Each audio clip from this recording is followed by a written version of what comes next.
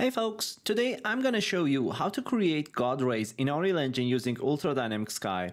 And the best part, we'll get it done fast. If you're looking to add that magical beam of light streaming through the window, stick around. I will guide you through the key settings to achieve beautiful cinematic God rays in no time. Let's dive in. So guys, just a quick note before we start. I've set the camera exposure to manual at 1.25 to keep the exposure stable throughout the scene. This way, we can focus purely on the lighting effects without any shifts in brightness. So let me just delete the Ultra Dynamic Sky and bring it back to start from scratch. Alright, the goal here is to achieve those beautiful God rays as quickly as possible. We will keep things straightforward, focusing on just a few key settings in Ultra Dynamic Sky. And the first one is to increase the fog to something like between 5 to 6. And after that, let me just close these cloud related parameters and categories. And yeah, here we have simulation. Let's just check it and simulate real sun and I'm going to kind of locate the sun to shine through the window on the ground inside. And as you can see, I'm just playing with this longitude and latitude parameters to find the best position for the sun and here I have found it. Yeah, that's good.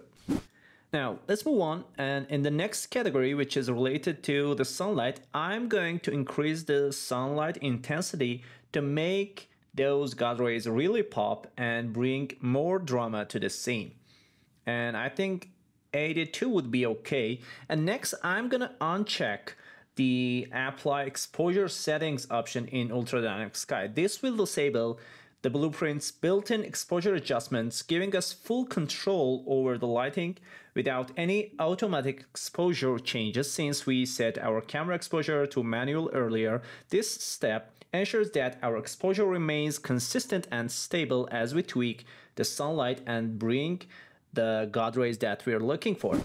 Now I'm gonna enable volumetric fog option. This will activate the fog effect which is essential for making God rays visible in our scene. After that, I will decrease the volumetric fog extinction value to make the fog lighter and less dense. This will allow the sunlight to pass through more effectively, enhancing the visibility of those striking God rays.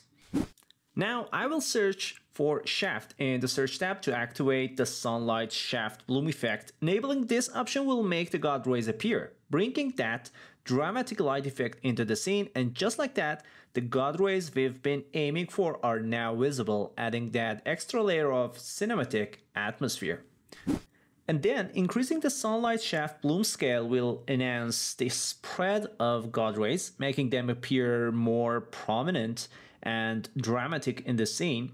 Meanwhile, adjusting the sunlight shaft bloom brightness will boost the intensity of the rays, making them stand out more against the environment and adding that magical glow we're after. And that's it folks, I hope this quick dive into creating God rays using Ultra Dynamic Sky was helpful.